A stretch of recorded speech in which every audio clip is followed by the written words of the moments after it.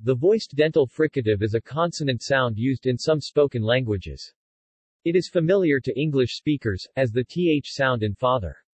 Its symbol in the International Phonetic Alphabet is eth, or p, and was taken from the Old English and Icelandic letter eth, which could stand for either a voiced or unvoiced interdental non-sibilant fricative.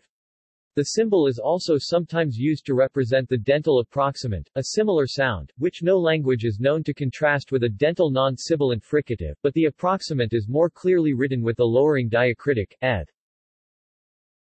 Very rarely used variant transcriptions of the dental approximant include retracted, advanced, and dentalized. Dental non-sibilant fricatives are often called interdental because they are often produced with the tongue between the upper and lower teeth, and not just against the back of the upper teeth, as they are with other dental consonants. This sound and its unvoiced counterpart are rare phonemes. Almost all languages of Europe and Asia, such as German, French, Persian, Japanese, and Mandarin, lack the sound.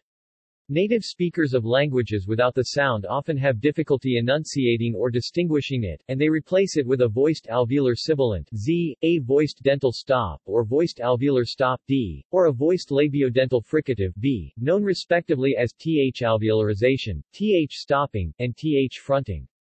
As for Europe, there seems to be a great arc where the sound, and or its unvoiced variant, is present. Most of mainland Europe lacks the sound. However, some Periphery Languages as Gascon, Welsh, English, Elfdalian, Northern Sami, Mari, Greek, Albanian, Sardinian, some dialects of Basque and most speakers of Spanish have the sound in their consonant inventories, as phonemes or allophones.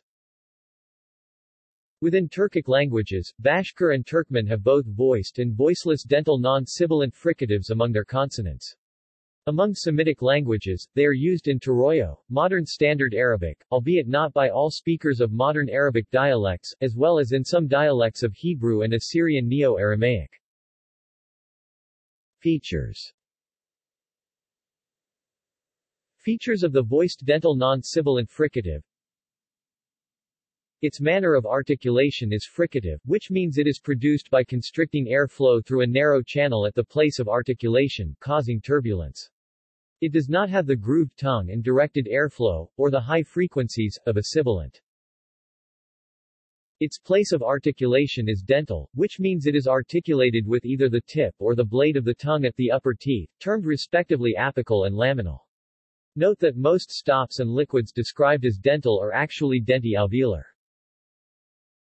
Its phonation is voiced, which means the vocal cords vibrate during the articulation. It is an oral consonant, which means air is allowed to escape through the mouth only. It is a central consonant, which means it is produced by directing the airstream along the center of the tongue, rather than to the sides. The airstream mechanism is pulmonic, which means it is articulated by pushing air solely with the lungs and diaphragm, as in most sounds. Occurrence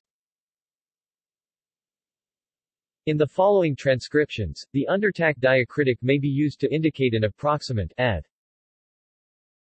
Danish is actually a weak, velarized alveolar approximant. See also Voiced alveolar non-sibilant fricative Sibilant consonant Hashtag Possible combinations Index of phonetics articles Notes. References